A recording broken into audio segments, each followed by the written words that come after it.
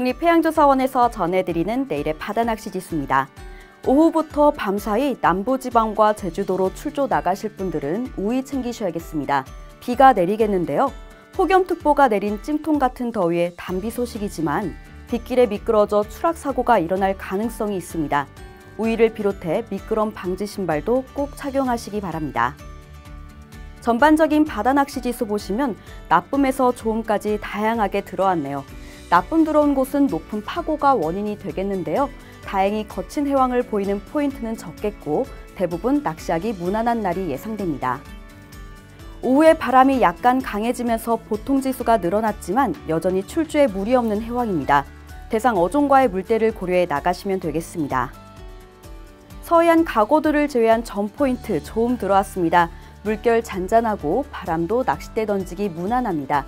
다만 돕류를 낚기엔 손이 다소 높겠습니다. 오후에 가고도는 물결이 1m까지 높게 일어 다른 포인트로 가시는 게 좋겠습니다. 조음에서 보통으로 떨어진 포인트는 오전보다 약간 강해진 바람의 영향을 받았네요. 그래도 초속 8m 이내로 낚시는 무리 없겠습니다.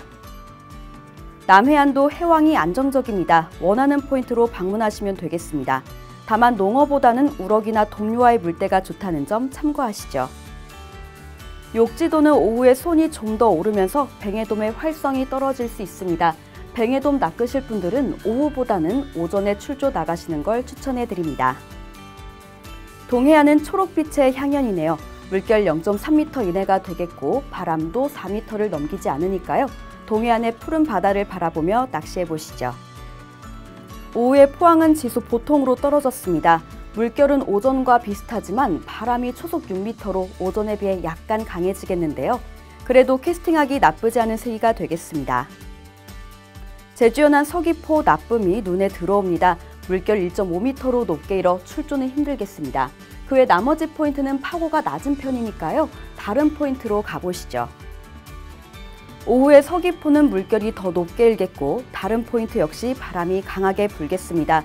초속 9m에서 10m로 웃돌겠으니 오전 중으로 낚시 마무리하시기 바랍니다. 지금까지 내일의 바다낚시 지수였습니다.